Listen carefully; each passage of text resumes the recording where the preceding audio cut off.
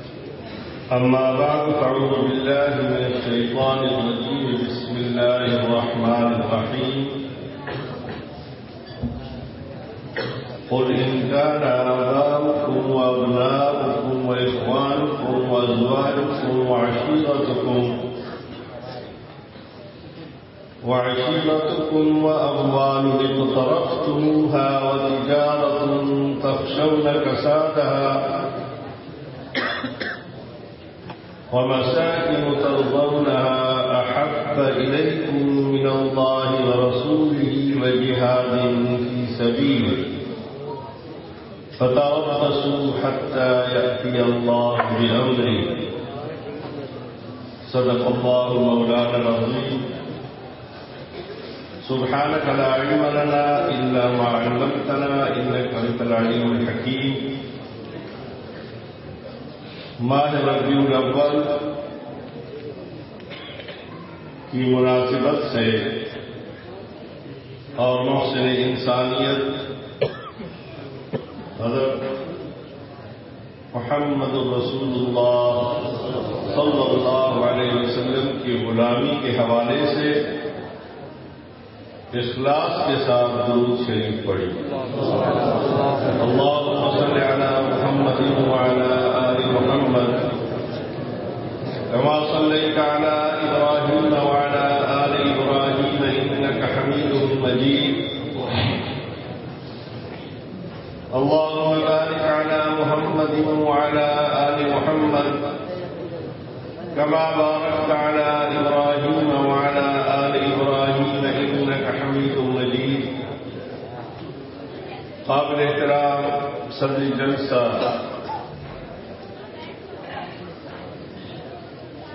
Stage पर मौजूद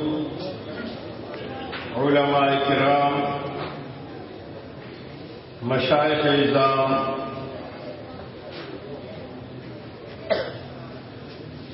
असात किराम मेरे दोस्तों, बुज़ुर्गों, भाइयों, बहनों। मैं मशहूर हूँ जमीयत उलमा इस्लाम और सीरत कौंसल के मकामी जिम्मेदारों का कि उन्होंने आपसे शर के मुलाकात का मुझे एजाज बख्शा।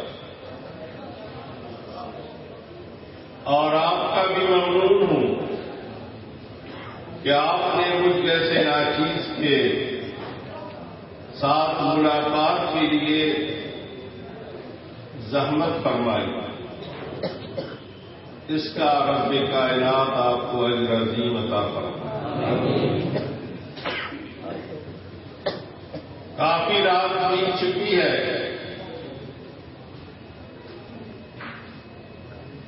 और खुतबा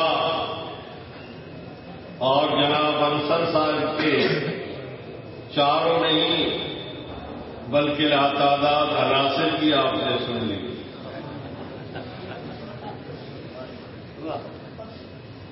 मैं कोशिश करूँगा कि मुख्तसर अल्फाज में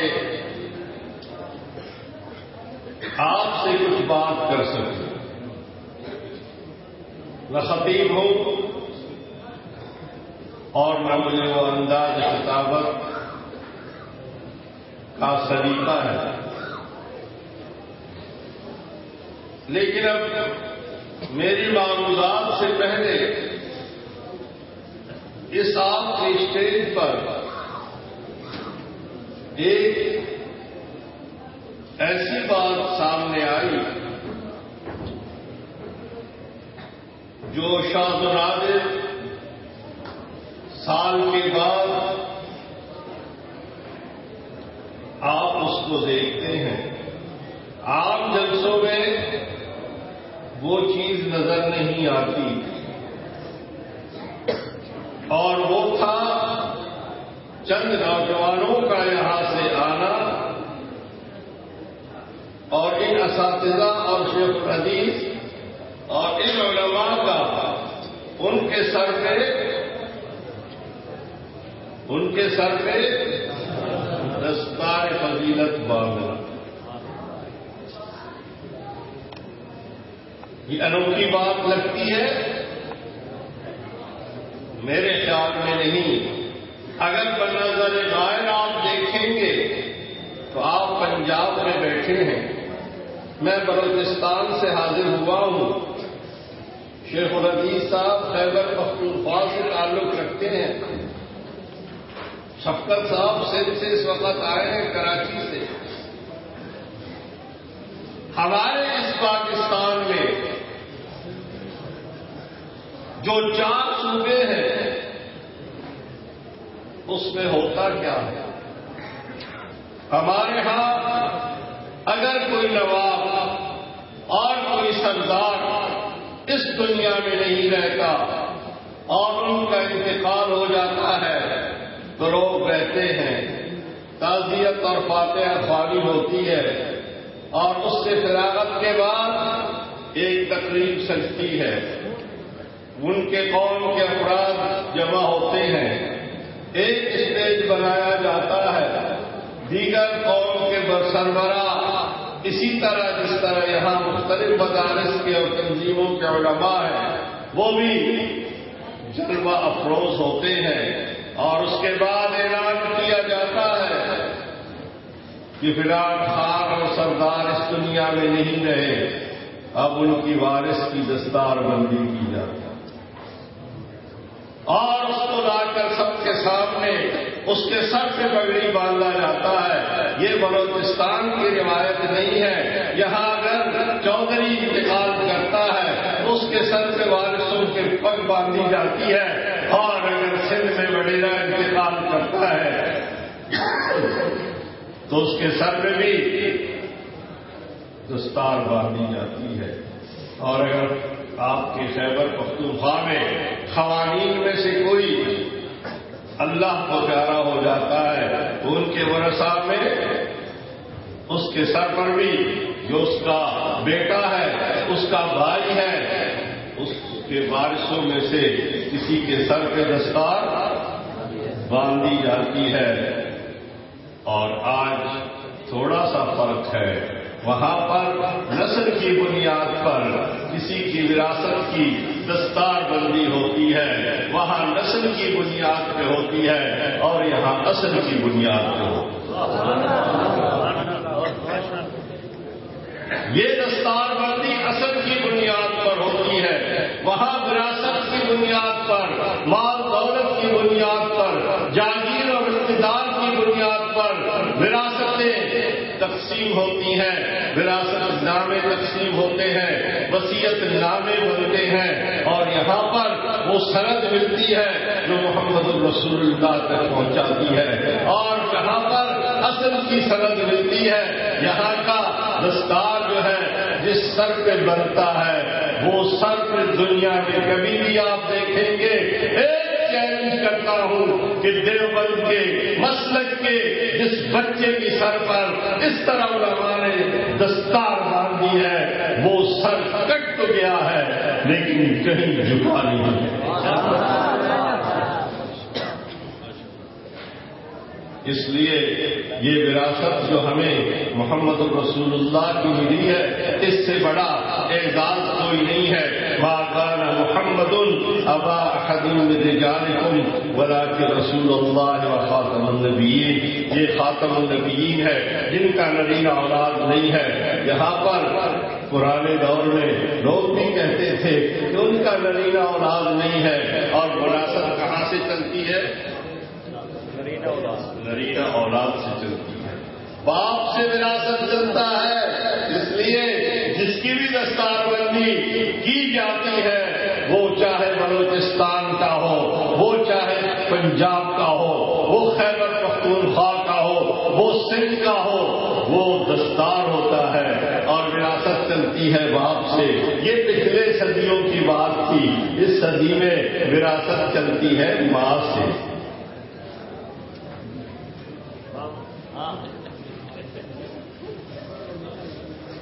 अंदाज देखिए, दुनिया के और जहाँ पहले विरासत चलती थी बाप से। और अब विरासत चलती है। माँ से पहले सनद वसीका ऐसा होता था कि उसमें कोई खामी, नुकता गलती नहीं होती थी। वो बहुत ही असली होती थी। मैंने कहा कि ये विरासत असल है और जो आता है, उसका सनद भी असली है, उसकी डिग्री भी असली है, उसका ईमान भी असली है, उसका एतकाद भी असली है, उसका मौकम भी असली है। उसकी क्यादत भी असली है।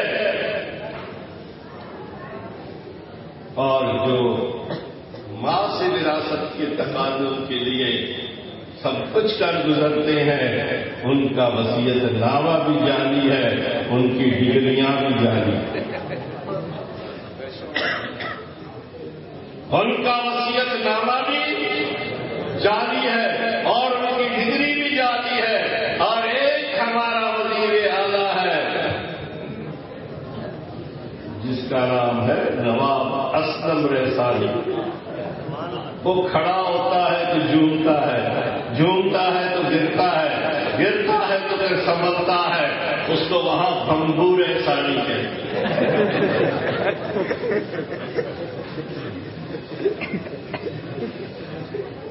जब ये मसला चलने लगा तो उसने क्या कहा? लोगों ने उससे पूछा, नवाब उसने कहा जी बताओ, क्या बात? उसने कहा, ये आपके जितने भी हैं, इनकी तो डिग्रियाँ जाली है। उसने कहा, बाबा, क्या बात करते हो तुम? डिग्री डिग्री होती है, असली हो क्या? जाली हो वसीयतनामा वसीयतनामा होता है।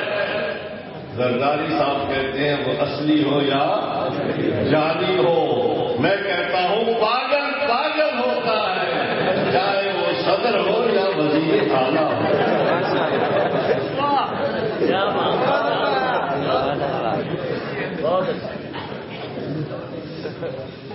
आइए, इस स्टेज पे आते हैं।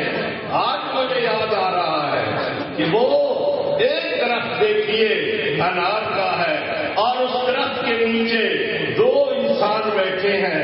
एक का नाम महमूद है दूसरे का नाम महमूद है, जो शागिद है और दो जानू होने वाला महमूद, वह अपने उस्ताद महमूद से, मौलवी महमूद से काल अल्लाह और काल रसूल की तरबियत हासिल कर रहा है। कोई साहिबान नहीं है और छत्ते की एक मस्जिद है, उसके पीछे अनार का एक दरख्त है।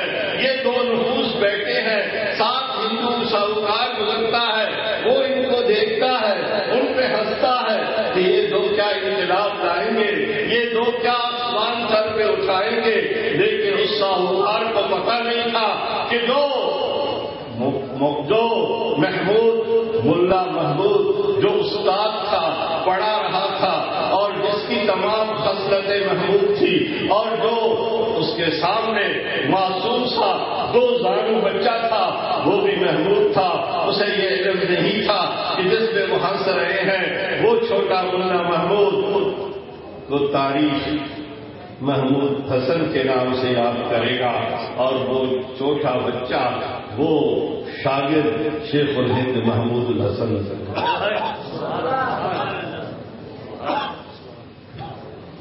हमें अपने इन सिलसिलों पे फख्र है।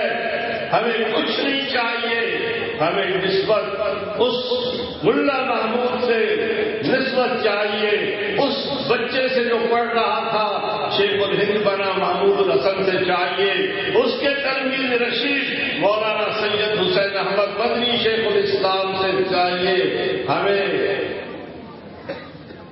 ताल्लुक मुफ्ती महमूद से चाहिए। तमाम महमूद ऐसे थे जिन्होंने कौम को राह सुझाई ये वो लोग थे जिन्होंने तारीख बनाई। ये वो लोग थे जो तारीफ़ सास थे और क्यामत तक दुनिया इन मुफसरों को भूल नहीं सकती। इसलिए वो गुलदस्ता जो देवबंद का गुलदस्ता कहलाता। एक गुलदस्ता फूलों का आप मिलेंगे उसमें गुलाब होगा, चमेली होगा नरगिस होगा तरह तरह के फूल होंगे। हर एक का रंग मुख्तलिफ़ है, हर एक की खुशबू मुख्तलिफ़ है, हर एक का अंदाज मुख्तलिफ़ है। और उस गुलदस्ते में जो फूल हैं, उनमें से एक को भी लोगे, उसकी खासियतें हैं और वो अपनी महक से फजा को, माहौल को मुनवर करती है। और अगर गुलदस्ता बनाएँगे तो क्या कहना वो मेरे आका सल्लल्लाहु अलैहि वसल्लम, जो इस माह मुबारक में तशरीफ़ भी लाए, पर्दा भी फरमाया, इस रजूल अव्वल में उनकी एक जाम शख्सियत थी। और जिन्होंने मदीना मुनवरा जाकर देखा होगा तो आपको वहाँ पर क्या मिलेगा? एक मुसल्ला मिलेगा। जो हजूर सल्लल्लाहु अलैहि वसल्लम वहाँ इमाम थे, वहाँ पर आपको एक मिंबर मिलेगा। जहाँ हजूर खतीब थे, वहाँ पर आपको क्या मिलेगा? नमाज़ के बाद मस्जिद में ताला लगा होता। आइए, सीरत के बात करने वाले मोहब्बत की बात करने वाले, दावा करने वाले स्टेज मेरा है, मैं पीछे बैठूँगा, मैं आपको दूँगा कौन के सामने बात करे, आज तय करे, सियासत छोड़ देते हैं, सब कुछ छोड़ देते हैं मसलक की तमाम बातें छोड़ देते हैं मोहम्मद को न तू छोड़ सकता, न मैं छोड़ सकता हूँ।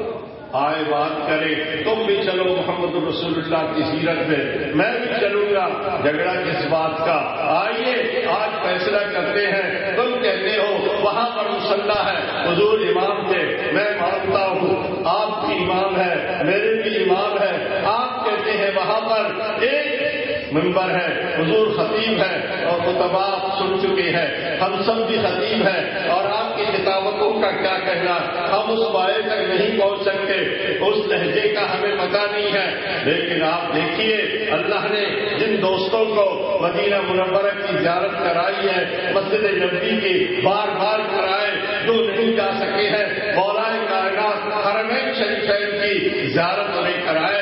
यहाँ मुसल्ला है, साफ़ सुंदर है पर उस कोने में एक चबूतरा है। अब भी इतना ऊँचा है, जैसा ये स्टेज है, वो कौन सा चबूतरा है? वो चबूतरा असाब सुफा का है। वो उस दौर का एजुकेशन मिनिस्ट्री थी। उस दौर का दारूम था, जिसमें मोहम्मद मुस्तफ़ा, अहमद मुस्तफ़ा प्रिंसिपल भी थे। वहाँ पर वो शेख तफसीर भी थे, वहाँ पर वो उस्ताद भी थे और गुलमा की, कौन सी वो बाबरकत जमात थी।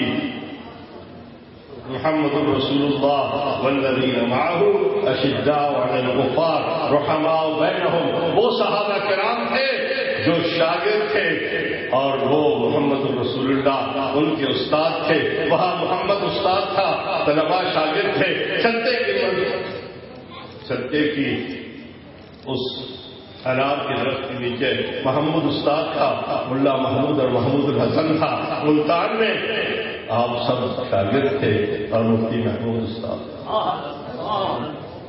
लेकिन आगे बढ़ते हैं। वो असाम सुबह का चबूतरा, उस छत के नीचे आपकी यूनिवर्सिटी थी, उस छत के नीचे आपका एजुकेशन की यूनिवर्सिटी थी। बस खत्म, नहीं, इस कोरे में आकर आप देखेंगे तो फिर जेएचक्यू भी, इस्लामी जेएचक्यू भी उसी मदीना मुनवरा के मस्जिद के कोने में था, जहाँ से मसाला मोहम्मद रसूलुल्लाह थे और यहाँ पर वो आते थे और हमारे उन लोगों को जो जिहाद के लिए जा रहे हैं, आ रहे हैं, उनकी सब बंदी करते थे और वो तयन करते थे किसने तुम्हें जाना है। आज भी मैं कहना चाहता हूँ कि आज भी जो अमीर होगा, जो बड़ा होगा, वो तयन करेगा और अगर खालिद बिन वलीद जैसे को पीछे बुलाया जाता है और एक छोटे से उनके इस नस्बत कमज़ोर से इंसान को साहिब बनाया जाता है तो फिर सैफुल्ला का रद्द अमल क्या हो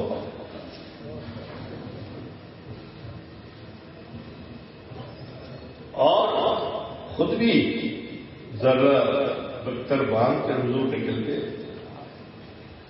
लेकिन उस कोने में फारन ऑफ़िस भी था, जहाँ हजूर तशरीफ़ लाते थे और उनको बुलाते थे, आज भी दुनिया में हमारे फारन ऑफ़िस एम्बेसडर जाते हैं, हमारे सफीर जाते हैं और वहाँ जाकर क्या लोग खिलाते हैं, वो तो सैलकारी से पता चलता है।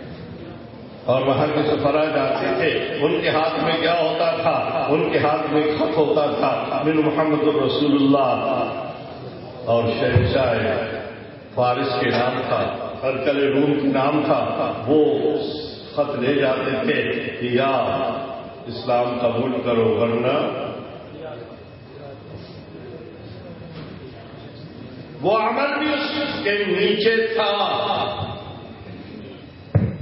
और स्टेट बैंक और बैतुल माल भी वही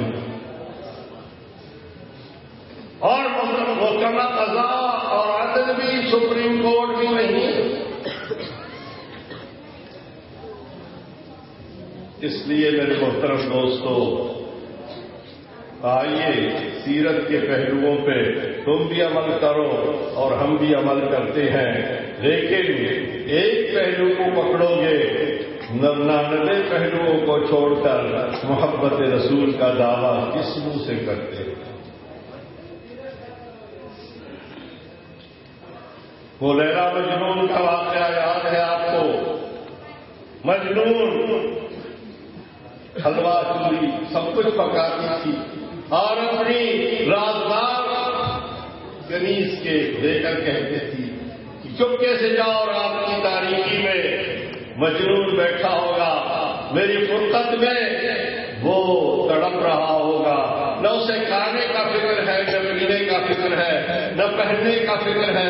ये खलत मिले जाओ। ये खाने पीने की अशिया मैंने बड़ी चाहत से बनाई है और वो करीज जाती है। आवाज़ इधर से एक उठता है लब्बैक दूसरा उधर से उठता है, तीसरा उधर से उठता है। कनीज लाइन कमेरू वो नहीं समझती। मजलून एक है या? वो खान रख के खाली करके वापस आती है और लहरा पूछती है कि मजनून को दे दिया उन्होंने कहा, सबको दे दिया काफ़ी ऐसा ये धंधा धंधा धंधा चलता रहा और कई अरसे के बाद अचानक वो बाहर निकली तो उसने मजनून को देखा। उसने मजनून को देखा। तो बेचारे के कपड़े बटे हुए, चल नहीं सकता। लागत कमज़ोर। मौका नहीं था कि बात करे। इस्तेसार करे, पूछे। इश्क मोहब्बत के मतवाले, तुम जो मैं बेच रही हूँ, वो कुछ खा पी क्यों कहा तो उसने अपनी कमीज से पूछा कि कम्बक तुम क्या करती है? क्या उसने कहा, मैं क्यों ही जाती हूँ अंधेरे में? मैं कहता हूँ, मजलूम तो आठ दस मस्टर्ड मेरे बाहर निकलते हैं। और उसके बाद वो फ़ौरन उसको उठाकर चट कर दिया उन्होंने कहा कम्बक तो मस्टंडे नहीं है आशिक? मेरा आशिक तो इंतहाई कमज़ोर है।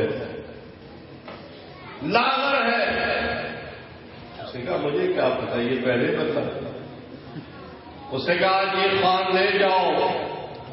उसके ऊपर उसी तरह उन्होंने कपड़ा डाला। जरीन कपड़ा उसके ऊपर डाला, लेकिन उसके नीचे,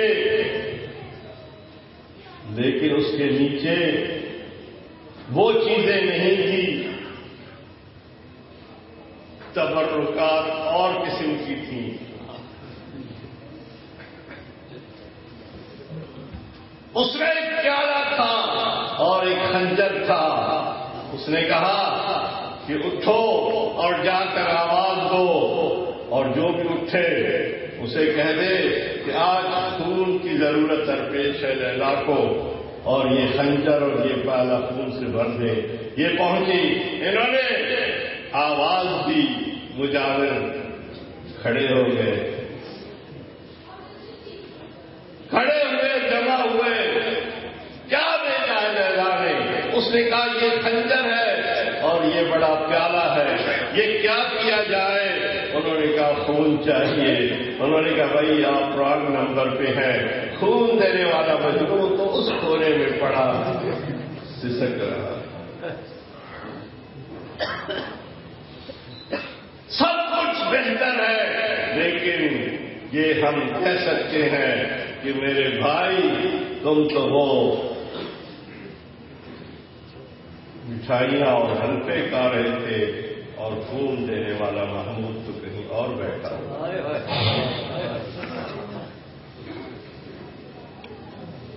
इसलिए कि तेरे और मेरे कहने से मोहब्बत का मेयार कायम नहीं होता।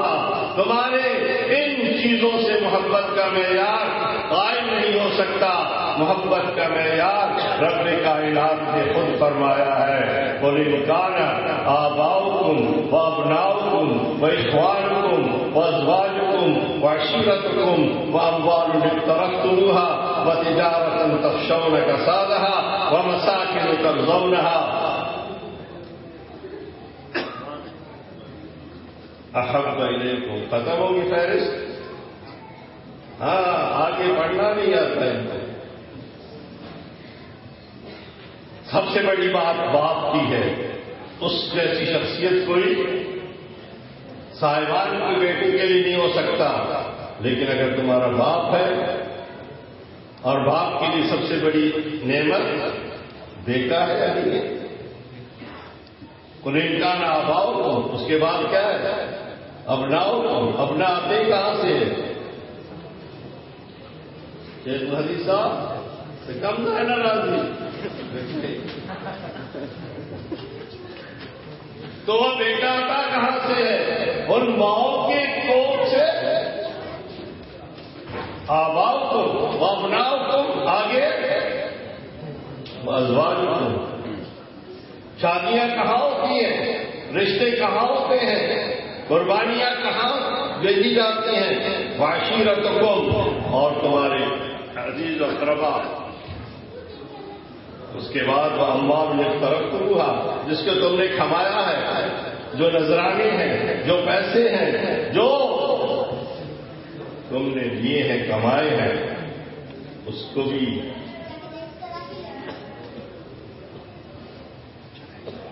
तुम व अम्बान जिस तरफ़ तुलूहा व तिजारत तशौन का साधा वो तुम्हारे कंपनियाँ और तुम्हारी तिजारत उसमें घाटे की वजह से तुम परेशान होते हो। वह मसाकिन रहा वो तुम्हारे फराजे वो तुम्हारे महल्ला, वो तुम्हारे बड़ी बड़ी बिल्डिंगें पर अगर वो तुम्हें ज़्यादा महबूब है, मिनल्लाह व रसूली बस।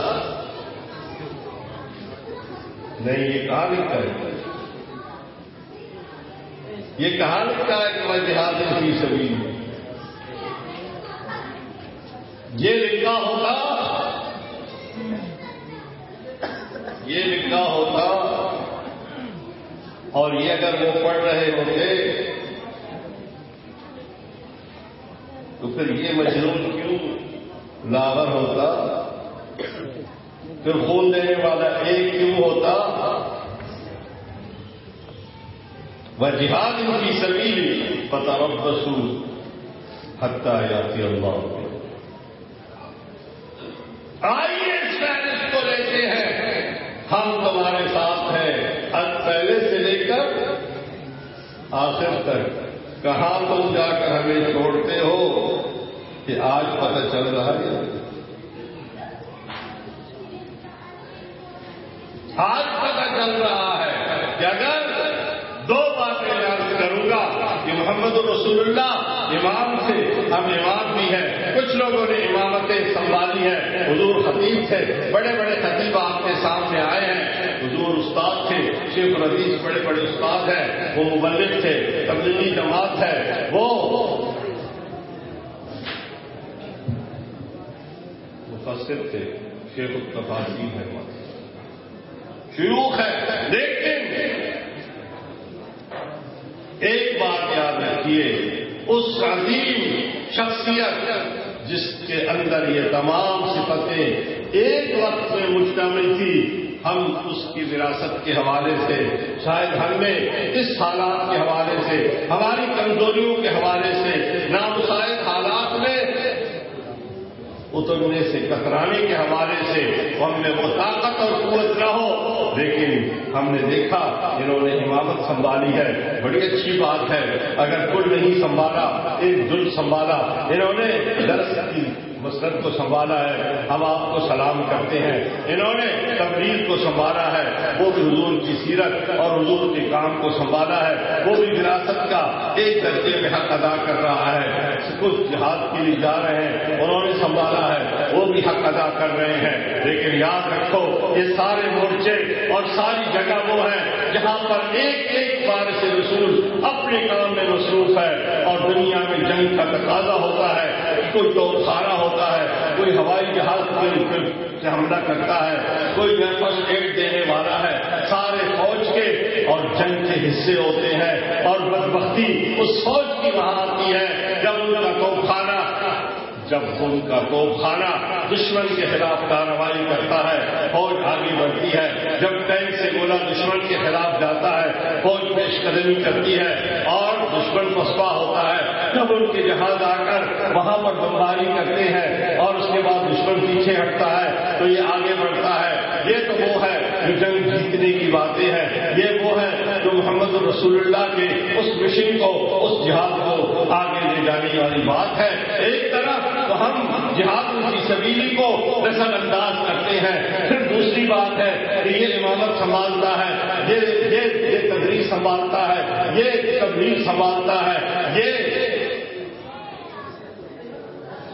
जिहाद संभालता है। सियासत कोई ऐसी बात नहीं है, सियासत की दीन है। जुदा हो, मैं कहूँगा, लोग कहेंगे क्या? लेकिन उस अल्लाह अखबार, जिसको तस्वुर जिसने पाकिस्तान का पेश किया, मैं नहीं कहता। वो कहता है, जुदा होगी सियासत से तो रह जाती है जंगी दी आप मेरी बात समझेंगे, एक लम्हे के लिए तवज्जो देंगे। मैं कहना चाहता हूँ कि अगर ये सारे मोर्चे हैं किसी ने मस्जिद बनाया, किसी ने मदरसा बनाया, किसी ने इमामत संभाली, किसी ने खिताबत संभाला, किसी ने सब नबूत का बेड़ा उठाया, किसी ने सहावत के सहाबा के नामूस के लिए मैदान उतरा। लेकिन ये सब मोर्चे कौन से हैं।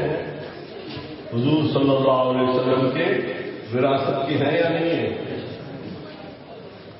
ये सब अगर अपने टारगेट पर और ताबूत के खिलाफ अगर सरे पैकार होंगे। फतह तुम्हारी होगी। कल भी थी, आज भी थी, आने वाली कल भी थी। और अगर तुमने टारगेट में जरा होता ही थी अंधेरे में पता नहीं चला, धुंध में पता नहीं चला, आज भी पंजाब में बड़ा धुंध है। चावे दस्तूर में भी काफ़ी धुंध है। वहाँ भी एक दूसरे टकराने लगते हैं। धुंध कम होता है।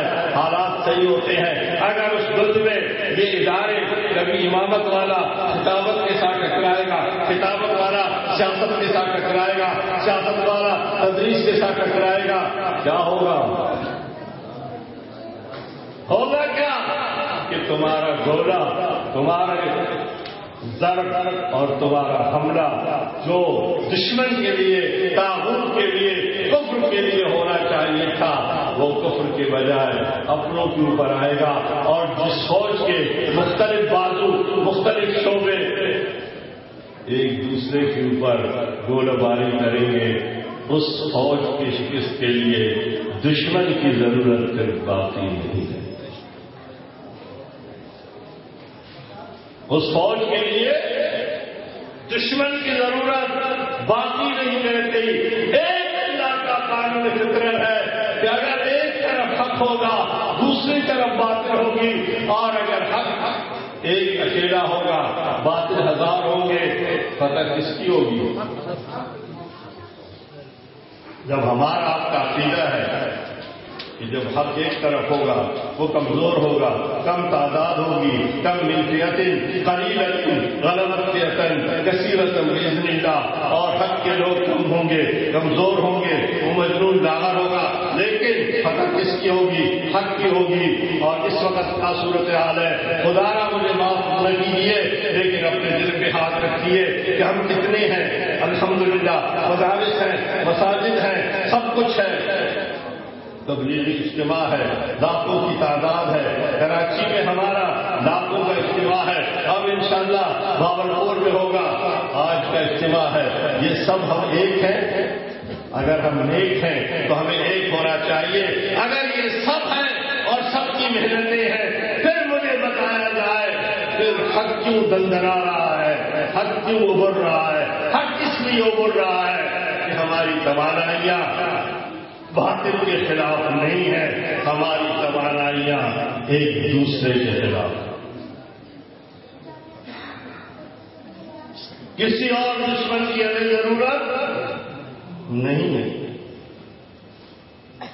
हम अपनी बेटियों की मस्जिदें, हम अपने मदारे हम अपने अना और अपनी शान शरकत में ये भूल जाते हैं कि हम गुलाम मुस्तफ़ा सल्लल्लाहु अलैहि वसल्लम हैं। हम देवबंद के उस अजीम उस अजीम तहरीक के, उस अजीम तहरीक के हम अदना कारकुन मैंने पहले आपसे कहा था, क्या करूँ? वक्त की तंगी है, आखिर में ही बुलाया जाता है, क्योंकि मैं नहीं कहता इसलिए मैंने शुरू में कहा था बलूचिस्तान से शुरू किया। वहाँ सरदार है वहाँ आप, जिसकी दस्तारबंदियाँ होती हैं, दस्तारबंदी इसलिए होती है? हम चाहते हैं कि हजूर का सिलसिला जारी रहे। ये उस्ताद बनते हुए हदीस के, इससे पहले हदीस पढ़ते थे, इसको सनद मिला, ये आगे भेज रहा है। इसलिए हजूर की विरासत जारी रहे और सरदार इसलिए चाहता है, नवाब इसलिए चाहता है कि मेरी नवाबियत और सरदारियत बरकरार रहे। चौधरी इसलिए बेटी की दस्तारबंदी करवाता है तो उसकी हाथ बरकरार रहे और वडेरा इसलिए कि उसकी वडेरा बरकरार रहे और खवानी इसलिए कि बरकरार रहे। ये चार तबके कौन से हैं। आए मैं आपको बताता हूँ। ये उनके बड़े हैं, जिन्होंने आज की दुनिया को एक आग बना दिया है। और ये उनके बड़े थे। अंग्रेज़ के आप गुलाम हो सकते हैं। नज़र नहीं आ रहे आप सच कहते हो? जो अंग्रेज़ का गुलाम नहीं बनता, नहीं बनना चाहता, हाथ कर। जो अमेरिका का गुलाम नहीं बनना चाहता, वो हाथ खड़ा करते मैं भी करता हूँ। अच्छा माशा नहीं बनोगे? बिल्कुल नहीं बनोगे। क्योंकि बने हुए हो बनोगे क्या? बड़े सच्चे हो कहते हम गुलाम नहीं बनेंगे। क्योंकि आज़ाद गुलाम बनता है, गुलाम तो गुलाम है। मुझे अगर आप कह दीजिए आपने कहा कि हम अंग्रेज़ के गुलाम नहीं बनेंगे। हमारे आबा इजाद अंग्रेज़ के गुलाम नहीं। थे नहीं निकाल दो। या अंग्रेज़ की हुकूमत नहीं थी? तो हम गुलाम नहीं आज अमरीका की हम गुलाम है नहीं है। है? बदल गए अभी तो कह रहे थे नहीं होंगे आपकी सच कह रहे हैं। आप में वो जज्बा कल भी था। वो जज्बा आप में आज भी है हुरियत का। लेकिन मसला क्या है? मसला आपको मैं मुख्तसर समझाता हूँ। मसला ये है कि अंग्रेज़ बड़ा शातिर था। उसके यहाँ कुछ पैदा नहीं होता था, सिवाय कोयले के, जिसकी दलाली है। कोई मादनियात कोई जखायर मौजूद नहीं लेकिन वो यहाँ दाखिल हुआ। किसके तवसत से? वालिया रियासत के तवसत से। सरदार और नवाब के तवसत से जो यूरोप जाते थे याशिया करने, ये उनके मेहमान नवाजी करके, उनके ज़रिए इन्होंने यहाँ पर दाखिला किया। इन्होंने उनको तिजारत के लालच दिए। उनकी राय कब की सोना गोल्ड यहीं पर है। बर शरीर में सब कुछ आपका था। जर जवाहिर थे, सब कुछ दुनिया की तमाम मादनियात कहाँ थे? लोहा कहाँ था? वो दाखिल हुए यहाँ पर और ईस्ट इंडिया कंपनी तारीफ़ की और आपको जरा पलटिए। ईस्ट इंडिया कंपनी के ज़रिए वो दाखिल हुए। उसके बाद इन्होंने सोचा कि बलोचिस्तान में बलोच रहता है। वो कभी किसी का गुलाम बन नहीं सकता। पंजाब में ये लोग रहते हैं। ये किसी का गुलाम तो क्या? किसी का गुलामी का तस्वर नहीं कर सकते अंग्रेज़ का। उन्होंने सोचा कि सिंध में तो तस्वर नहीं है खैबर पख्तूनखा में। उन्होंने फार्मूला तय किया। फार्मूला क्या था? बड़ा आसान था। मुरली को पकड़नी हो। मुरली हाथ नहीं आए। दूसरे को पकड़ो मुरली पीछे पीछे फार्मूला ये हुआ कि सबसे पहले सरकार को खरीदो सरकार के ज़मीन को खरीदो जब वो ज़मीन होगा और सरकार को इस तरह फैलाओ कि सारे लोग उसके सामने झुके रहे हम सिंध से आ रहे थे जो भी आता हमारे पाँव पे झुकता हाथ मिलाते हैं वो पहले क्योंकि झुकने की आदत इन वडेरों ने दी है कि जब तुम हमारे पाँव पे झुकोगे, फिर हम जिसके पाँव पे झुकेंगे तो तुम्हें भी झुकना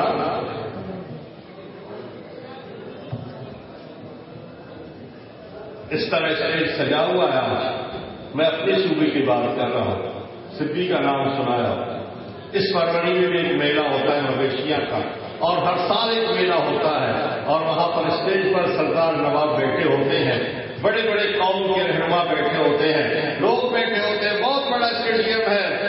रेसकोर्स मैदान है। उसमें बैठे होते हैं। नेजबाजी होती है। अपने बैल मवेशी लाते हैं। उनका मुकाबला होता है। बड़े बड़े जुमले वगैरह पालते हैं और उसमें नेजबाजी भी होती है, लड़ाई कुश्ती भी होती है और दीगर खेल होते हैं। और सालाना मेला वहाँ पर मुनद होता है और उसमें कोई न कोई मेहमान खसूसी होता है और एक दफ़ा वो सजा अब अब फरवरी में भी सज रहा है। पिछले साल भी था और उस वक्त जब मलका बरतानिया तशरीफ़ लाई थी और वो मेले में आने वाली थी। सारे सरदार बैठे थे।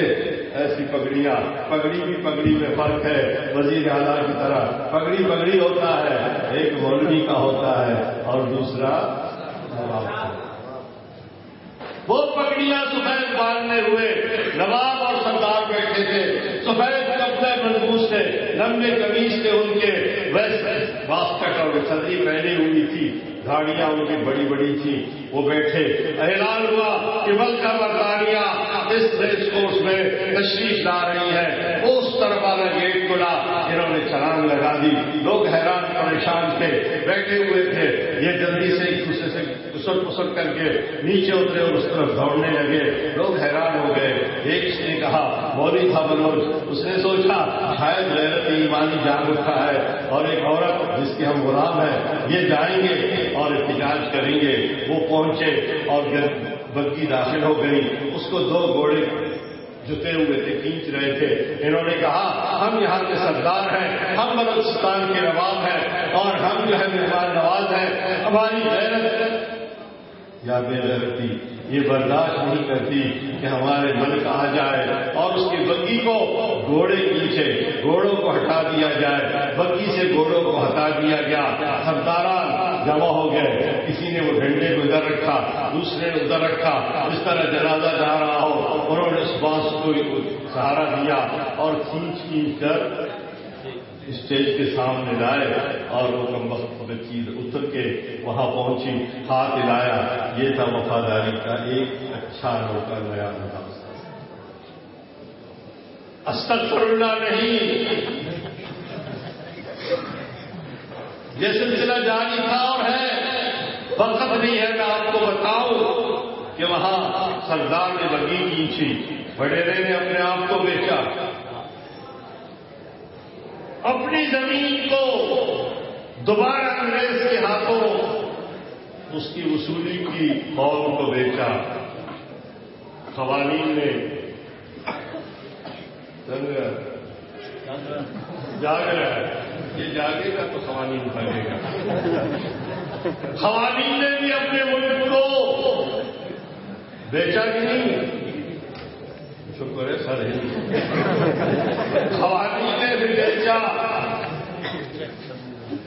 और पंजाब के लोगों चौधरीयों ने भी अपने सर को जिसमें फग डालते थे बांधते थे उन्होंने उस सर को अंग्रेज़ के सामने दिखा अंग्रेज़ ने एक फार्मूला तय किया था और फार्मूला ये था कि जो सर झुकाएगा ताज बरतानिया के सामने जो सर झुकाएगा, उसको सर का खिताब मिलेगा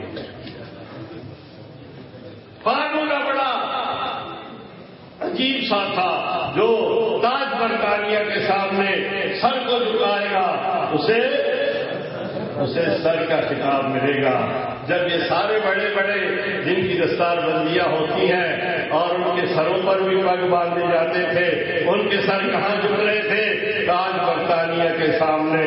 मेरे दोस्तों, हमें उस रब का इनाम के हम शुक्र अदा करते हैं, जिन्होंने हमें ऐसे कायदे नहीं दिए थे जिनके सर पे फल बांधने के बाद वो सर बरतानिया के सामने जुड़कर सर का खिताब लेने वाले थे। लेकिन कुछ ऐसे भी सरफरोश थे जो मेरे और आपके बड़े थे, जिनके सरों पर ये पगड़ियाँ बंधी थी। उन्होंने अंग्रेज़ के सामने तो सर नहीं झुकाया, सर को हथेली पे रख के बाहर गए और फिर अंग्रेज़ यहाँ न उन्होंने अपने सर को झुकाया नहीं, बल्कि सर कटाकर अंग्रेज़ का मुकाबला। कहते हैं जी, ये तो बड़े नफूस कुत्सियत थे। ये तो तीन सौ तेरह के हज़ारों पे भाले मार रहे थे। हाँ हाँ। कम मिलकियतिन कलीलतिन गलबत से कसीरतन भी है। मेयर सौ जो है कभी मेयतैन पे गालिब आती है कभी अंश जो है वो अल्फेन पे आती है। कभी ये तो नहीं होता कि पौने दो अरब अरब सन इसराइलियों के सामने। हम मुँह किधर देखते हैं? खाना काबा की तरफ़। हजूर कहाँ मुँह देते थे उससे पहले? वो क्या होता है। मस्जिद अफसा है हजूर का कबिला है। सुबहान नदी असला बेहती नई रमीन मस्जिद हराम इसके बाद है। यहूदी, कितने यहूदी? और आप कितने हो? और हर दिन कितने पढ़ते हो? आज जब जलसे में मसरूफ हो, अल्लाह आपको बढ़ा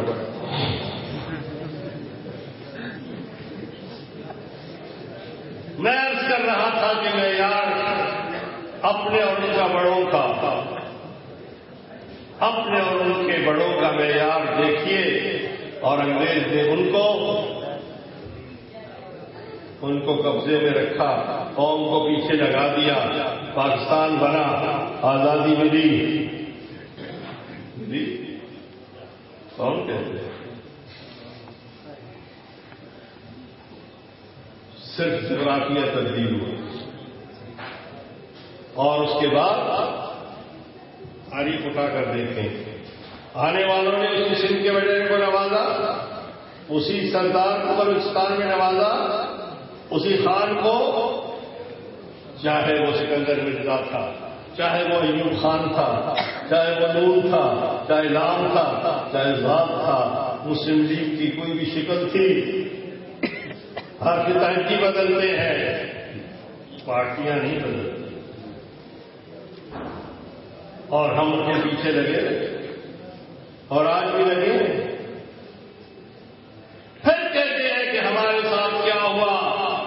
इनकलाब क्यों नहीं आता? अंग्रेज़ ने यहाँ हुक्मरानी की। तभी रक्षा किया। किसके बंदोते थे लेकिन उस शेख हिंद ने, जो छोटा सा महबूब था, उसने क्या किया? उसने अलग जिहाद बंद किया या नहीं किया? शेख नदी साहब, उसने अपना हेडक्वार्टर कहाँ बनाया? मस्जिद में नहीं बनाया आप तारीख भी पढ़े अभी इसके उसने अपना हेडक्वार्टर कबाइल में रखा। उनकी उस बसीरत को देखिए कि लड़ते रहे और कबाइल में हेडक्वार्टर रखा। आज कितना अर्सा गुजर गया है सोएत यूनियन तहलील हुआ। आज हेडक्वार्टर कहाँ बना हुआ है मुजाहिद? आज भी कबाइल। इसलिए जो उनकी बसीरत और उनकी नज़र, हमें कहने दीजिए कि कल अंग्रेज़ को उन्होंने शिकस्त दी। तभी बात होगी। कि जिहाद के सामने वो टिक नहीं सका। कोशिश की, कोई जिहाद के मुस्लिम पैदा किए, कुछ वफादारा ने अंग्रेज़ पैदा किए, जिन्होंने कहा जिहाद नहीं है। कल वो कह रहे थे, आज उनके मानने वाले ही कह रहे अंग्रेज़ ने एक तरफ़ मिर्ज़ा नईम को बनाया और उसको कहा कि तुम ये कहो कि अब जिहाद नहीं रहा। दूसरे भी कुछ को आगे किया, उन्होंने भी कहा कि ताज बरतानिया से जिहाद नहीं हो सकता, हराम है। सही कह रहा हूँ यार बिल्कुल सही है। मेरे बड़ों ने कहा, जिहाद है और जिहाद किया, और तुम्हारे बड़ों ने कहा, जिहाद नहीं है। जिहाद उन्होंने हराम करार दिया। तुम सीरत भी का नाम मिलो लेकिन तुम जिहाद नहीं कर सकते। क्योंकि तुम्हारे बड़े ने इसकी मुखालिफत की थी और मेरे बड़े ने इस पर अमल किया था। कल उन बुज़ुर्गों ने खुद निकलकर अंग्रेज़ को जो सबक सिखाया था, अंग्रेज़ जिसकी बादशाही का पूरी दुनिया में कहीं मरूब नहीं होता था, जहाँ पर थे इंडोनेशिया में थे, अफ्रीका में थे, जहाँ मरूब हो चुका है इस बरतानिया में सूरज है, आगे है। दुनिया में वो छाए हुए थे, लेकिन वो जिनका सूरज गुरूर नहीं होता था। आज पूरा बरतानिया ही नहीं यूके यूनाइटेड किंगडम सारा का सारा सिर्फ़ साढ़े चार सौ मील में महदूद हो चुका। आज़ादी का चेहरा सर में मारने वालों, तुमने तो मुल्क भेजा। कौम फरोख्तन बच्चे अर्जा फरोख्तन वो कारोबार चल चुका है। और अगर अंग्रेज़ को निकालने का सहरा बनना है तो उनके सरबंदों जिनके सर पर उनके अकादमी में पगड़ी बांधी की और उन्होंने सर नहीं झुकाया सर कटा कर अंग्रेज़ को निकाले मैं बात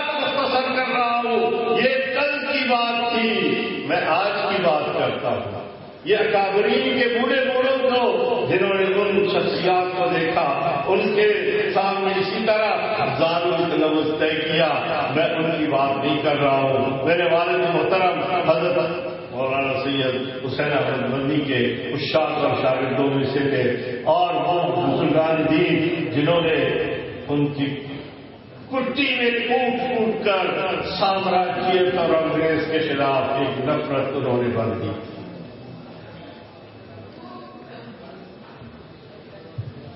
कल जो अंग्रेज़ आया था, उसका सल्तनत की हदूद इतने ज़्यादा थे और क्या कहते थे? सरदार कैसा था? नवाब कैसा था? नवाब बरतानी से कैसा दिमाग तुम्हारा खराब है। तुम उससे लड़ सकते हो। सारी दुनिया तो उसका कब्जा है। ये मुल्ला क्या करेंगे? मुल्ला ने क्या किया? बरतानिया आज साढ़े चार सौ मील के एरिया में बंद है नहीं वो वसाइल जो हमारे के लूटने वाले हैं, तफसील में नहीं जाता। तारीख ने अपने आप को दोहराया। सूरज यूनियन ने देखा और सूरज यूनियन दाखिल हुआ अफ़गानिस्तान में या नहीं